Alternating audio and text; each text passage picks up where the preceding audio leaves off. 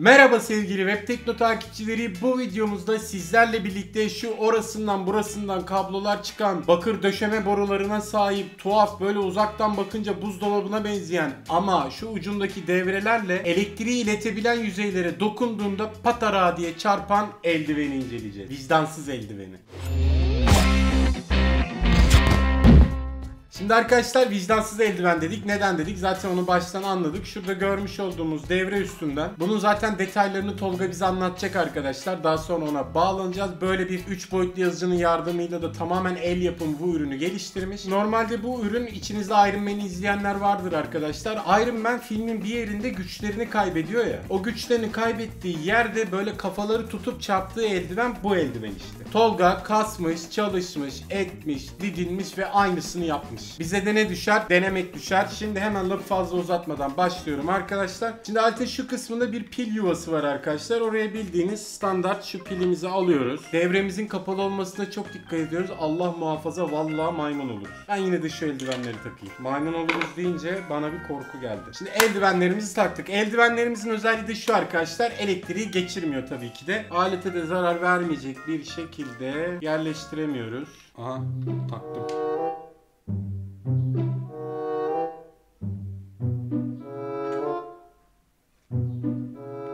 Devre kapalıyken bu eldiveni elimize 10 derece dikkatli bir şekilde geçiriyoruz arkadaşlar. Şu an ortamımız hazır arkadaşlar. Şurada bir tane ahşap getirdim. Bu ahşap bildiğiniz gibi elektriği ileten bir şey değil. Bir de şurada benim oğlanın topunu sizin için muhteşem bir canavara dönüştürdüm. Yapacağımız işlem şu arkadaşlar. Aletin üzerinde şurada bir 01 devresi var. Bunu şimdi ben Rabbime sığınarak açtım. Bunu açtığım zaman içeride bir tane kırmızı led var. Onun biraz şarj olmasını bekliyorum. Evet şu an kırmızı ledim yandı.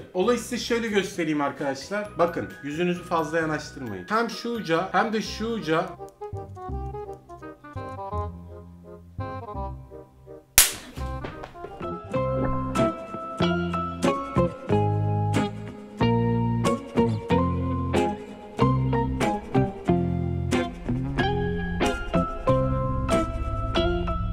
Siz olayı anladınız. Şurada elektrik var. Allah muhafaza bu birine çarparsa Gayet güzel. Bu arada şurada gördüğünüz gibi arkadaşlar bu eldiveni biz böyle programladık. Bunlar bizim web tekno. Şimdi arkadaşlar bunu gördüğünüz gibi şurada bir tahtada deneyeyim bakın. Hiçbir şey olmuyor. Neden? Çünkü tahta elektriği iletmiyor. Peki. Alüminyum folyoyla kapladığım topa yaparsam ne olur? Bu elektrik insanı öldürmüyor. Tolga'nın bize anlattığına göre. Hatta kendisi diyor ki ben bu devreyle çarpıldım abi diyor. Sorun yok diyor ama o elektrik elektronik işiyle uğraşıyor. Bilirsiniz bu tarz arkadaşlarımız çarpılmaya genelde alışıktır. Ama ben o ekipten değilim. Biz batarya kokusuna alışığız. Bizim sektör biraz farklı. Titriyor mu lan bu?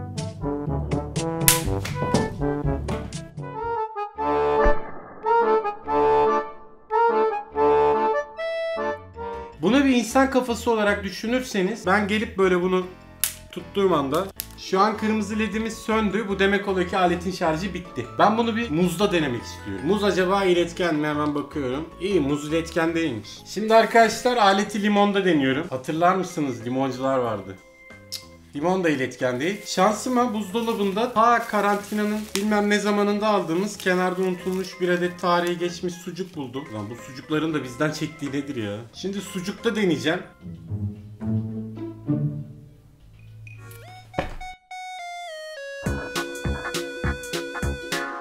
Sucuğu çarptı.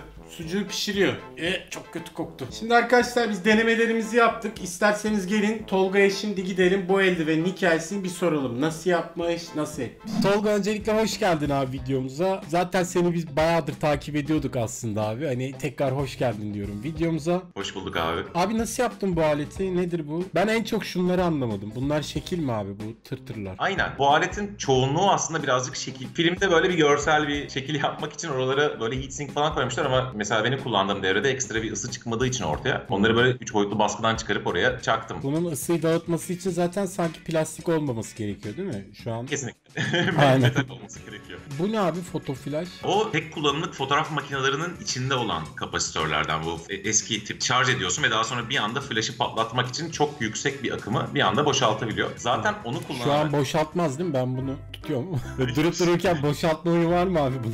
Eğer dikkatli olursan ve son şarjdan sonra oradaki iki kontağa bir şey değdirdiysen şu anda boş demektir. Ama yine de dikkat et. Bence çarpılma Ne yapayım abi? Şurada tutayım aynen. Eyvallah. Peki abi şuradaki bakır şerit mesela niye bu buzdolabı gibi böyle düz gelemiyor muydu bu? Onların hepsi görsel. Şey aslında orada fonksiyonel olan şeyler o üstündeki devre kartı ve altta avucun içinde iki tane kontak noktası var. Aslında Evet. fonksiyonel olan kısımlar ondan ibaret. Evde şimdi yapmak isteyen yapmayın tabi de. Birisi olursa Yani, ama gerekli güvenlik önlemlerini alıp konuda bilgisi olan biriyle birlikte yapsınlar. Biz mesela öyle yaptık arkadaşlar. Yani bir mesela atıyorum bir bobin gibi Tesla bobini gibi bunu dokundurduğum adam sıçrar mı ya da no yanar mı ne olur yani? Bununla yaklaşık olarak 320 voltluk bir akım üretebiliyorsunuz. Yani atlatıyor. Ben daha önce çarpıldım. O yüzden biliyorum. Yani bunu test ettin mi abi kendinde? Hayır hayır şimdi değil. Seneler önce çarpıldığım için aynı devreyle başka bir proje yapıyorduk kardeşimle. Yine Ee, 320 ile mi çarpıldın abi? Aynen 320 ile bayağı güzeldi. 3 aşağı 5 yukarı bir maliyet çıkabiliyor mu abi bundan? Şu kadara yaptım diye. Ne Aa, kadar şimdi- saatini aldı? Birkaç günümü aldı. Onun dışında aslında malzemeler çok çok ucuz. Yani tam bir fiyat veremiyorum. Eyvallah abi teşekkür ederim. Biz senin kanalında ilgili takip ediyoruz. Ayrıca arkadaşlar Tolga'nın kanal linkini de açıklama kısmına bıraktım. Kendisine oradan ulaşabilirsiniz diyorum. Teşekkür ederim abi. Ben sana bunu en kısa zamanda nasıl kargolayacağım kısmını düşüneceğim abi. Abi böyle güzelce bir şeye sar. Aynen öyle yapacağım. Bir de kutu gibi bir şey ayarlarım abi. Ondan sonra sana kargolarım. Eyvallah abi. Çok teşekkür ederim videomuza katıldığın için. Görüşürüz. Çok iyi bak kendine. teşekkür ederim abi. Eyvallah. Görüşürüz. Ve arkadaşlar böylece artık videomuzun sonuna gelmiş olduk. Bu videomuzda sizlerle birlikte Tolga'nın el emeği göz nuru olan şu eldiveni inceledik. Sizler de videomuzu beğendiyseniz şurada bulunan beğen butonuna basabilirsiniz ya da böyle değişik fantastik fikirleriniz varsa bizlerle yorum bölümünden paylaşabilirsiniz. Başka bir web tekno videosunda görüşmek üzere. Hoşçakalın. Ekranda durmakta olan bağlantılara tıklayarak bambaşka web tekno videoları izleyebilirsiniz. Ayrıca hemen ortadaki bağlantıdan da kanalımıza Tolga bunun silikonu koptu ya abone olabilirsiniz.